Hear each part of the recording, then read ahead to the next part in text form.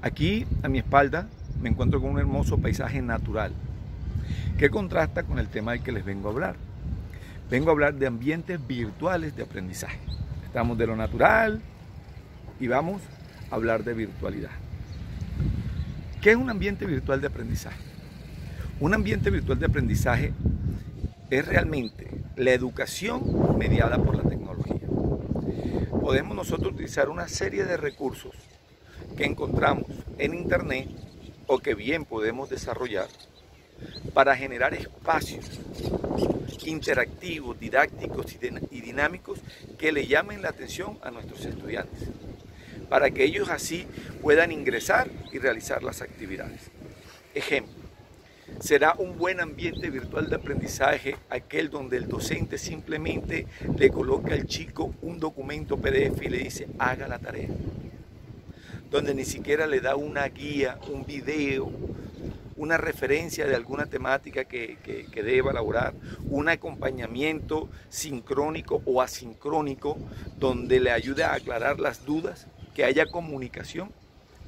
¿Sí? Si tú estás diciendo un ambiente virtual de aprendizaje, se supone que vamos a tratar de hacer algo como lo que hacemos en la escuela, en la presencialidad. ¿Qué tenemos en la presencialidad? Docente, estudiante. ¿Qué tenemos en la presencialidad? Un currículo.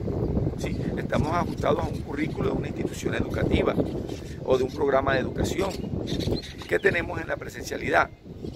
Comunicación sincrónica entre estudiantes y docentes. Comunicación asincrónica cuando nos entregan los cuadernos o nosotros mandamos los talleres para la casa, por decir. Entonces, ¿cómo a través de la web 2.0 yo puedo crear un ambiente virtual de aprendizaje de calidad.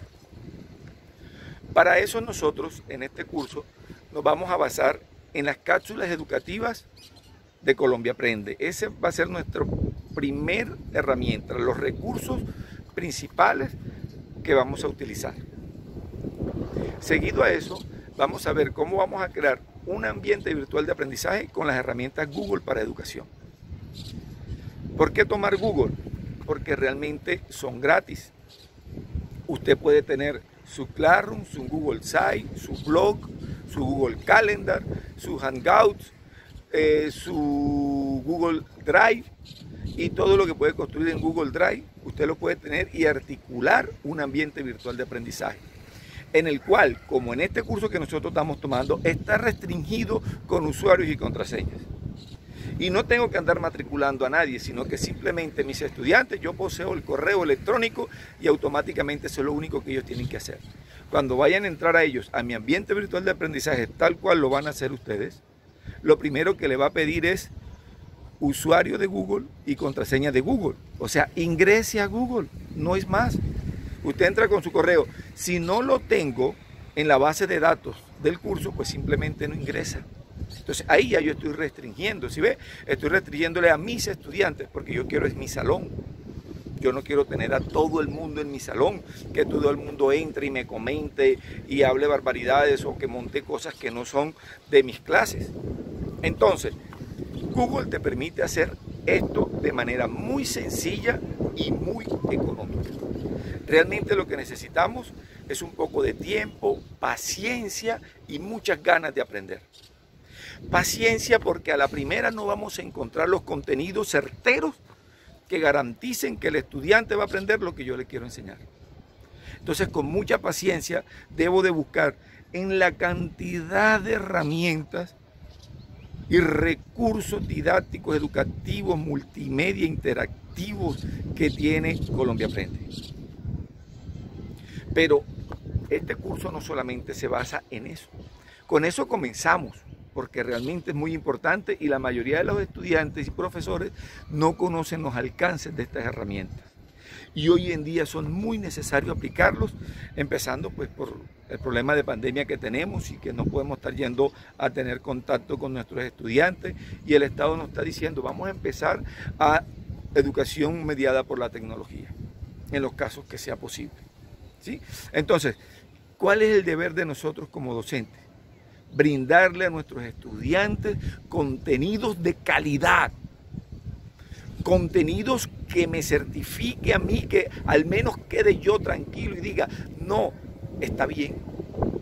Ese material es didáctico, es dinámico y con mis encuentros sincrónicos o asincrónicos, esas asesorías van a ser menos necesarias, pero ahí voy a estar.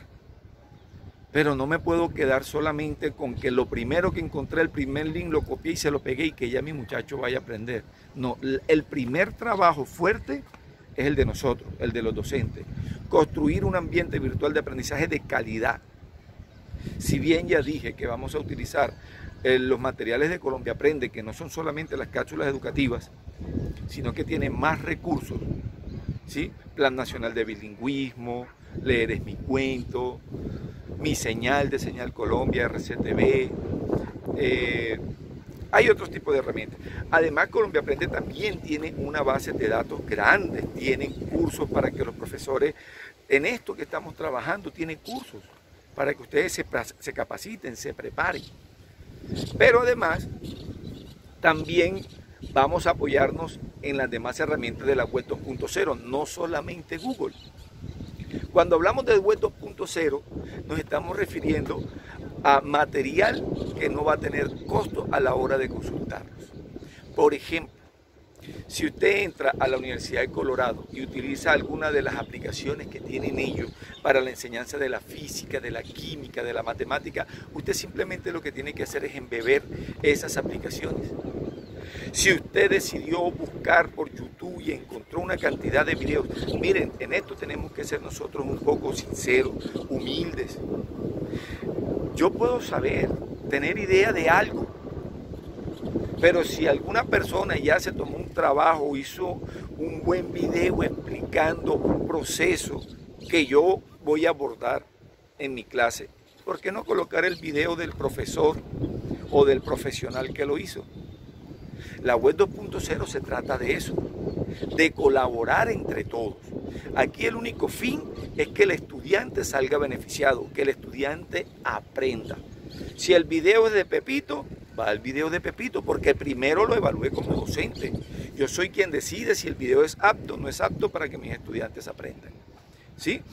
Además, tenemos eh, gran cantidad de materiales interactivos que los vamos a ver cómo construir pequeñas aplicaciones interactivas para la enseñanza de algún tema en específico.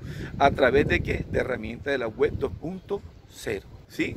Eh, en la enseñanza de las matemáticas tenemos GeoGebra, que podemos ubicar aplicaciones de GeoGebra que ya están en línea o podemos crear nuestras propias aplicaciones en línea.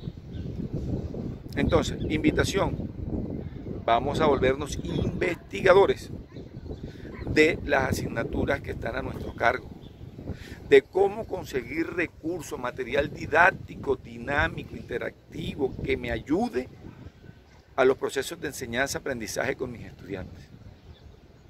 Ese es el primer trabajo. Eso es lo que les quería traer al día de hoy. Eh, durante el desarrollo del, curso les iré dejando otros videos donde vamos a ver mm, explicaciones de cada una de las actividades que hemos realizado. Nos vemos.